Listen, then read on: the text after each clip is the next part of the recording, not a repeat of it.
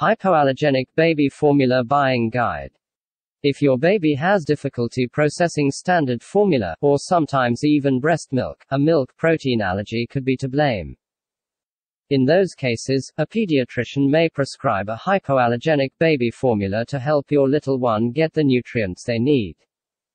Some doctors may also recommend hypoallergenic formula for babies with a strong family history of allergies.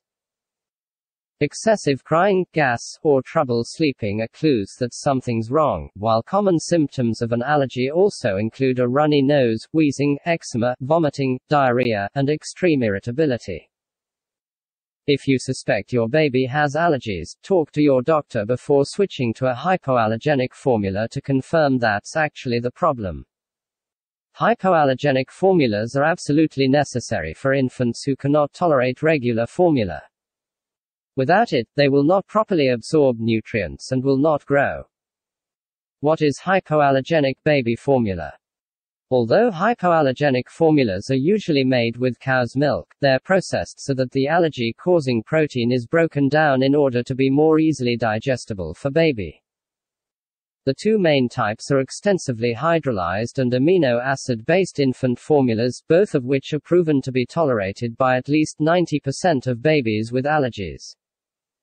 You may also notice partially hydrolyzed formulas, such as Enfamil Gentlease, when you're comparing formula brands. Although these options may relieve fussiness and gas in some infants, it's important to note that they are not in fact hypoallergenic, and aren't intended for babies with confirmed allergies. Gillett notes that the different levels of predigestion in different formulas should be considered alongside the severity of the child's allergies. Similac alimentum and Enfamil Nutramigen contain fully broken down proteins, Gillett says. One step further is an amino acid based formula such as Neocate.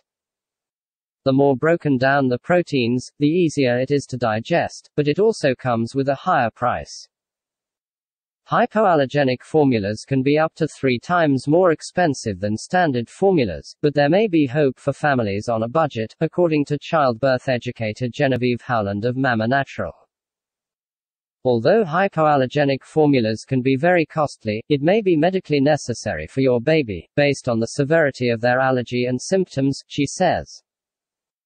In some cases, health insurance may supplement, or even pay for, hypoallergenic formula if your pediatrician deems it medically necessary. Choosing the right hypoallergenic baby formula. Your pediatrician may be able to help you choose between extensively hydrolyzed formulas like Gerber Extensive HA, Enfamil Nutramigen, Similac Expert Care Alimentum, and Enfamil Pregestimil, and amino acid based hypoallergenic baby formulas like Abbott Nutrition Elecare, Enfamil PurAmino. Enfamil Nutramigen AA, and Nutricia Neocate based on your child's symptoms. Still, it may also be necessary to try a few different brands before finding one that works best for your baby. Thankfully, there are multiple options available on the market today. If you try one recommended by your doctor that your baby doesn't seem to tolerate well, there are other brands that might work better. Cargers suggests asking your doctor for formula samples to see which brand your baby tolerates best. Once you have found a brand that works well for your baby, you can feel more confident in purchasing a larger size. Alternatives to hypoallergenic formula. The most obvious alternative to hypoallergenic formula, but still worth noting, is breast milk. The American Academy of Pediatrics considers breastfeeding the ideal source of nutrition for infants, and the incidence of food allergies is very low in breastfed infants. In those cases, the elimination of cow's milk, eggs, fish, and other foods from the mother's diet will often ease the infant's symptoms. Soy formulas are another common alternative to hypoallergenic formulas. Infants with symptoms of IgE associated cow's milk allergy, runny nose, wheezing, eczema, vomiting, and difficulty breathing have a particularly high success rate with soy formulas, although some experts discourage the use of soy formula.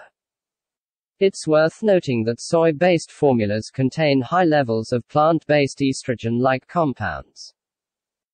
Studies show infants who consumed soy based formula as newborns had differences in some reproductive system cells and tissues, the long term effects of which are unknown.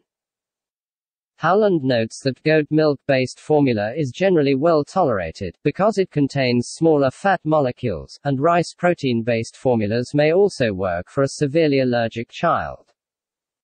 While the options can seem dizzying, finding the right formula could transform your fussy, allergy suffering baby into a happy, healthy child. Talk to your pediatrician about finding the right hypoallergenic baby formula or alternative for your little one.